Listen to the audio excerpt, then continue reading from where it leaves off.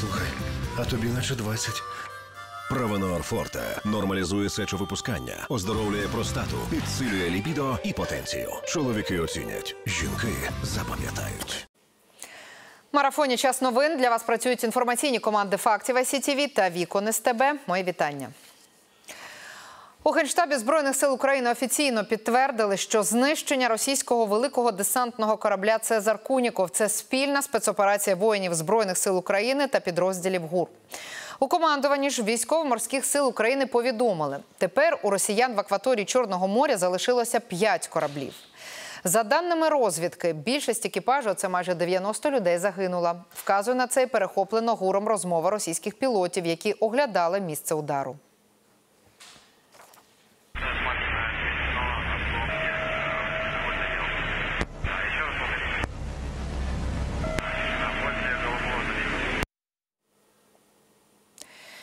Як повідомляють у головному управлінні розвідки, ворожий корабель атакували дронами Магура В-5. Куніков отримав критичні пробоїни по лівому борту та пішов на дно. Попередньо, близько 6 години ранку, в морі неподалік селища Кацівелі було чутно потужні вибухи. Мешканці тимчасово окупованого Криму, зокрема Лубки, повідомили, що вибуховою хвилею в них відчиняло вікна. Детонацію корабля було видно з берега. На місці події у пошуках уцілілих досі крижляють російські гелікоптери. Цезар Коніков був спущений на воду 1986 року. Брав участь в операції в Косово в 99-му, російсько-грузинській війні та здійснював забезпечення сирійської армії у 2015-му. Загалом на цьому кораблі могло бути до 90 членів екіпажу. З озброєння він мав на борту системи РСЗВ Град М та зенітні комплекси Стріла. Речник ВМС України Плетенчук підтвердив, що пошукова рятувальна операція росіян успіху не мала. Куніков таки пішов відомим курсом слідом за іншими російськими військовими кораблями. Уночі ворог завдав ракетного удару по Селідовому на Донеччині. Відомо про пряме влучання в житлову багатоповерхівку і триповерховий корпус місцевої лікарні. У військовій адміністрації інформують про трьох загиблих та 12 поранених. Серед жертв дитина 2015 року народження та вагітна жінка. 45 пацієнтів Селідівської лікарні евакуювали в інші медичні заклади Покровська та Мирнограда. Розбір завалів триває. Загалом ворог використав чотири ракети. Крім цього, пошкоджень зазнали щонайменше 9 багатоповерхівок, крамниця і аптека. Ще одна поранена людина внаслідок обстрілів Новогородівки. Там пошкоджено ще 21 багатоповерхівку і 5 адмінбудівель. Є постраждали внаслідок удару Російської Федерації і в часовому яру.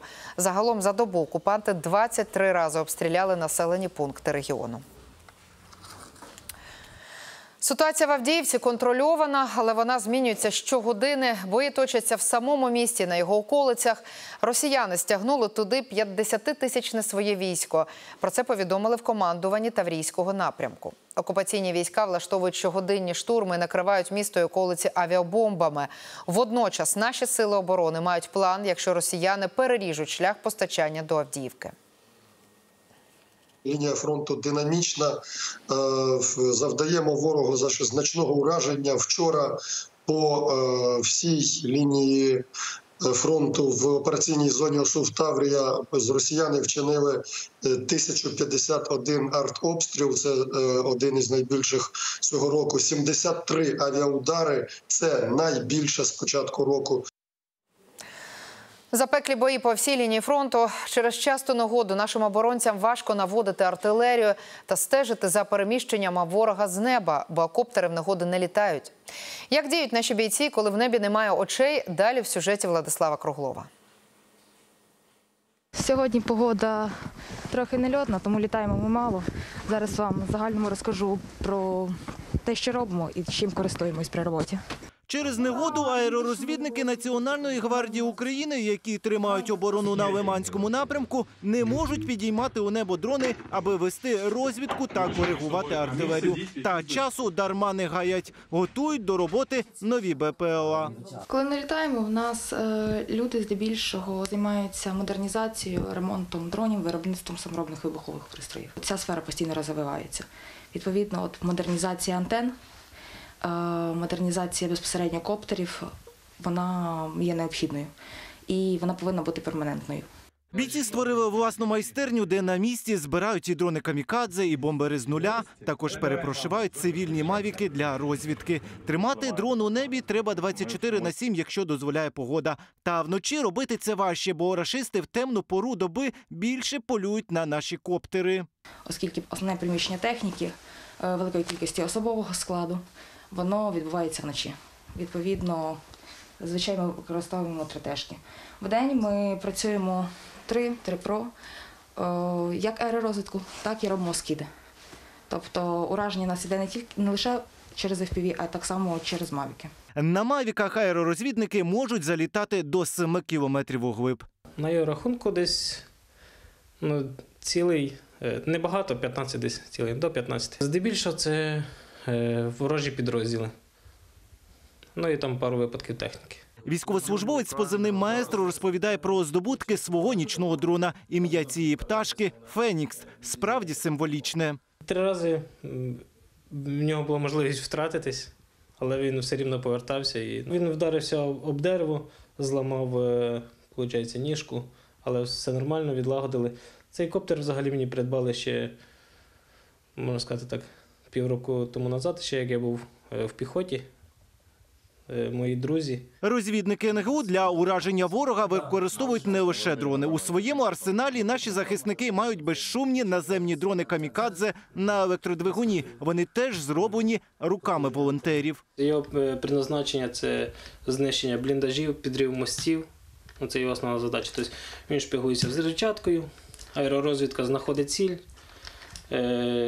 піднімається коптер з антеною, щоб е, він далі доїхав до цілі. Е, доїжджає до цілі, е, робить бабах. Військові кажуть, на фронті стає дедалі важче берегти дрони, бо ворог теж вчиться і збільшує кількість свого ребу. Раніше е, тут було набагато менше ребу, і за місяць можна було втратити три дрони. Е, за останні півтора тижні ми втратили п'ять. По суті, два дні це втрата одного дрона мінімум.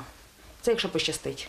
Аби тримати очі у небі постійно та безперервно знищувати росіян, аеророзвідники Національної гвардії України просять глядачів про допомогу. Нашим захисникам потрібні нічні дрони та комплектуючі до них. Задонатити ви можете за QR-кодом на екрані. Хочу передати привіт е, мамі і своїй коханій дружині, донорці. Я їх дуже сильно люблю. Ну, скоро буду вдома. З передової Владислав Кругов, Олег Цимбалюк. Факти ICTV. Єдині новини. Група одеських пошуковців майже два роки знаходить та евакуює тіла українських захисників додому. Команда проєкту на щиті вже відпрацювали 14 експедицій на південному та східному напрямках. Все почалося на волонтерській основі. Згодом група доєдналася до лав ЗСУ. Про роботу, яка допомагає повернути українських героїв на щиті, розповість Олександра Ченкова. Немає жодної відповіді. У вас є тільки сповіщення про те, що ваша близька людина зникла безвісти. У вас є тисячі версій і немає жодних відповідей. Все, це невідомість. Катерина займається пошуком українських захисників півтора роки. До повномасштабної війни була менеджеркою у громадській організації. Спершу допомагала пошуковцям організаційною роботою, але долучившись до однієї експедиції, і сама стала частиною команди. Пошук тіла, відтворення подій, при яких загинув захисник, ексгумація та повернення додому. Таку роботу проводять фахівці проєкту на щиті. Ритуал прощання це завершена справа. Бо багато хто пише і звертається, і вони знають навіть точне місце, де загинули. Ну, У нас сьогодні є аеророзвідка. Да? Вони можуть полетіти і побачити е, з неба тіло, яке лежить. Його ніхто не може забрати, бо настільки щільний обстріл. Активні бойові дії ускладнюють роботу команди, а також довга лінія фронту більше тисячі кілометрів. Ексгумують тіла не лише українських захисників, а й росіян, адже це обмінний фонд. Робота нелегка, тож фахівців бракує. Таких спеціалістів в Україні дуже мало, вони дуже цінуються, тому ми залучаємо саме таких людей, які мали певний досвід в цьому. або якщо людина дуже сильно мотивована на пошук. Тобто вона розуміє всі ризики, вона розуміє всю психологічну складність цієї роботи. Група одеських пошуковців вже відпрацювала 14 експедицій на південному та східному напрямку під керівництвом Центрального управління цивільно-військового співробітництва. Завжди працюють у команді із саперами, іноді залучають і мешканців прифронтових сіл. Вони допомагають інформацією. У команді ж самих пошуковців усього 14 людей. Починали як волонтери, та згодом більшість оформили в лави ЗСУ. Тож за свою роботу отримують зарплатню. Самі ж експедиції не фінансуються. Група розширюється е, і цих е, приладів не вистачає. Знову ж є волонтери, є друзі. Це, мені здається, як в житті звичайному. Просиш про допомогу, люди намагаються допомагати. Люди виснажені, але хто як може допомагає. Попри складнощі, пошуковці запевняють, працюватимуть стільки, скільки буде потрібно, і за місяць вирушать у наступну експедицію. Війна закінчиться, і це десятиліття пошуку. Це показує Друга світова війна, людей до сих пір знаходять. Е, Люди будуть потрібні завжди. Захисники повинні повертатися додому. Всі повинні повернутися додому рано чи пізно. Олександра Ченкова, Євген Драпенько, Факт ICTV. Єдині новини. На Закарпатті в місті Мукачеві запрацював інтеграційний центр для ромів, місцевих і переселенців. Цей багатофункціональний простір створили завдяки іноземним благодійникам, щоб підтримати цю вразливу багатотисячну громаду та розширити її можливості, бо повномасштабна війна лише погіршила життя ромів. Більшість з них не має документів та не вміє читати і писати. А. О. Мукачівська ромка Ержика Горват на першому уроці з української мови вивчила дві літери. Їх показує в алфавіті на дошці. Інші ще плутає, але запевняє, вивчить грамоту. Жінці майже 50, як і більшість ромів на Закарпатті не вміє читати. Вони розмовляють місцевим діалектом ромської або угорської мови. Це обмежує їхній доступ до основних послуг, освіти та соціального захисту. Я розумію українську мову, але розмовляти не можу. Мені важко дається навчання, але я хочу вміти написати хоча б своє ім'я. Уроки грамотності та української мови в інтеграційному хабі для ромів організовують двічі на тиждень. Записалося на них уже 22 жінки.